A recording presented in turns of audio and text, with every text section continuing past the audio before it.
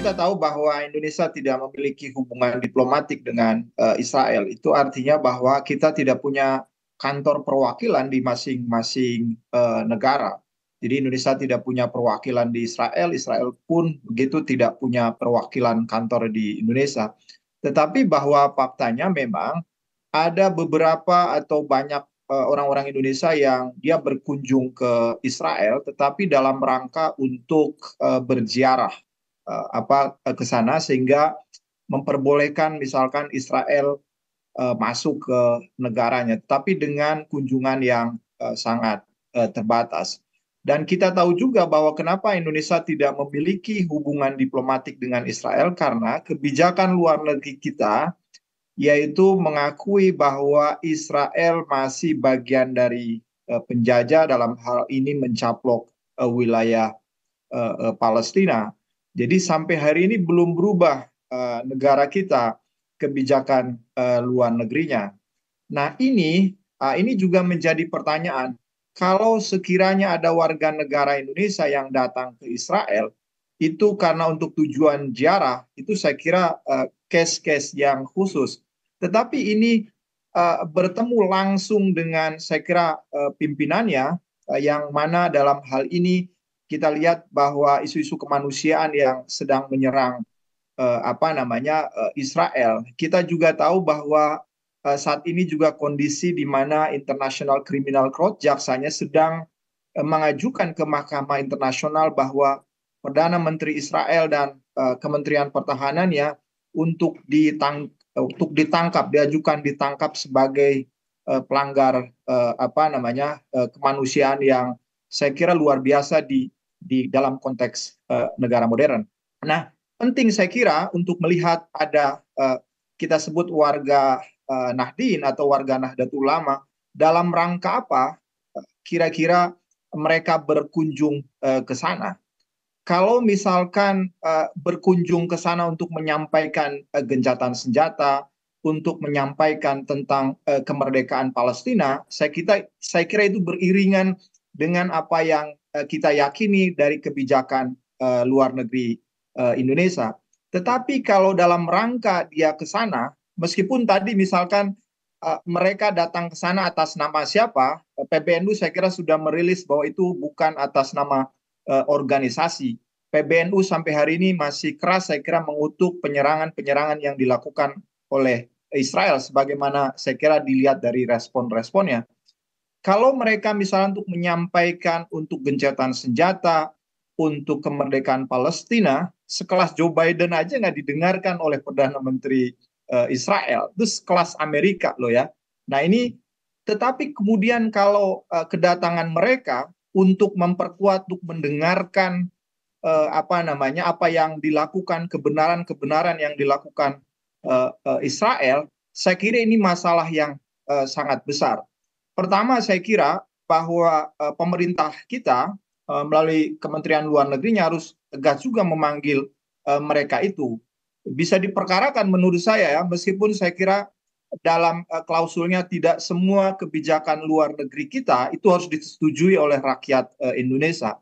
Tetapi ini kan soal kemanusiaan ya. Ini kalau benar bahwa mereka ke sana bukan tujuannya adalah untuk menyuarakan kemerdekaan Palestina atau gencatan senjata yang dilakukan uh, uh, oleh uh, apa namanya pemerintah uh, uh, Israel.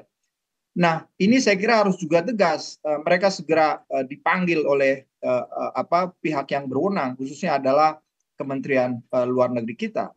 Yang kedua, saya kira PBNU juga harus ikut uh, mengklarifikasi ini tujuannya untuk apa Nah, jika terbukti bahwa mereka ke sana hanya untuk mendengarkan kebenaran-kebenaran eh, apa yang dilakukan oleh Israel, eh, kekejaman yang dilakukan oleh Israel terhadap rakyat Palestina, saya kira PBNU juga harus tegas. Di sana sudah mulai komentarnya juga sudah merespon dengan tegas.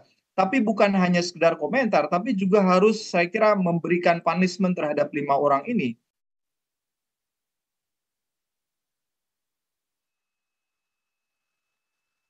Ya, kembali kita lanjutkan dialog kita bersama dengan narasumber kita, Pak. Uh, masih terhubung dengan kami, Pak Safik?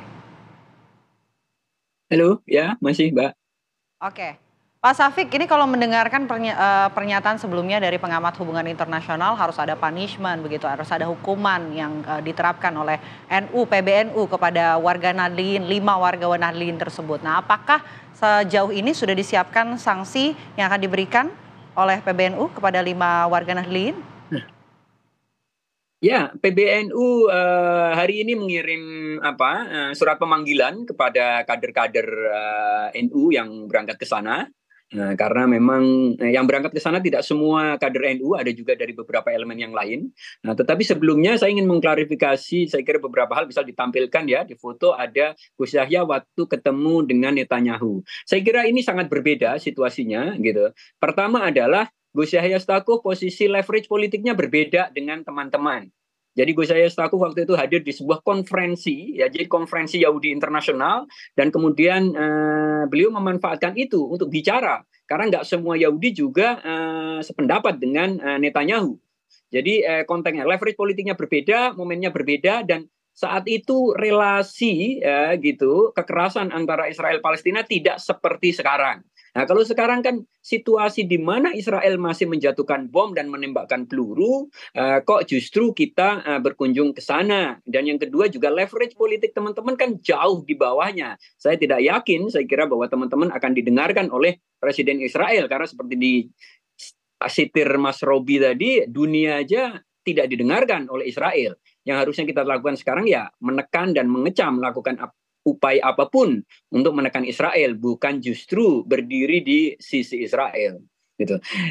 Terkait pemanggilan hari ini sudah dipanggil, ya, rencana uh, besok harusnya teman-teman ini uh, apa uh, datang ke BBNU untuk dimintai klarifikasinya.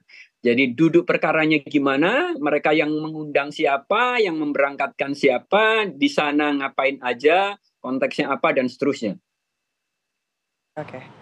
Pak Kiai, tentunya kita juga um, melihat ya, menyoroti bahwa PBNU artinya sependapat dengan pemerintah sejalan yang mengutuk aksi genosida yang dilakukan oleh uh, Israel begitu ya. ya nah, jelas. lantas apakah memang sudah ada himbauan kepada warga Nahdlin lainnya untuk kemudian mengutuk juga Israel atau memang ini terserah masing-masing pribadi masing-masing saja sebenarnya seperti apa?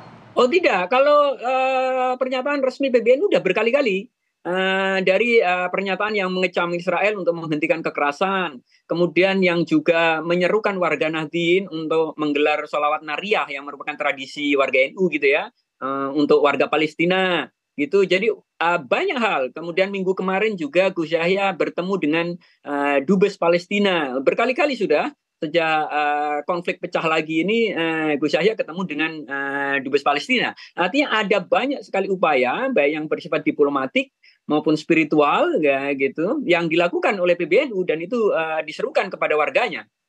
Jadi bukan diserahkan warga masing-masing karena warga tentu pengetahuannya berbeda tentang apa yang terjadi di sana. Oke, jadi tentu sudah ada sikap yang ditentukan oleh PBNU dan uh, kemudian warga Nadlin ini mengikuti sikap yang sudah ditetapkan begitu. Tapi ya, uh, terakhir mungkin komunikasi lanjutan apa yang dibangun oleh PBNU dengan uh, pihak Palestina dalam hal ini uh, dubes Palestina yang ada di Indonesia?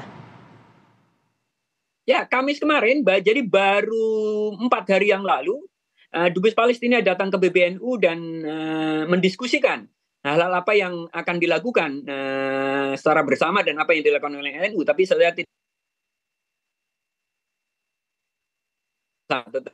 Baik. Kerja intensif untuk melakukan apa pun yang bisa dilakukan untuk membantu Palestina dalam konteks sebagai eh, masyarakat sipil ya elemen civil society karena di sisi lain kan ada negara yang eh, juga uh, saya kira uh, punya potensi untuk melakukan lebih ketimbang uh, NU yang posisinya sebagai civil society. Baik. Terima kasih uh, Pak Kiai, Pak Safik Ali sudah bergabung bersama kami, memberikan informasi, memberikan pandangannya. Pandangan NU artinya sependapat dengan pemerintah untuk mengutuk keras aksi kejam Israel begitu. Terima kasih. Assalamualaikum Pak Kiai.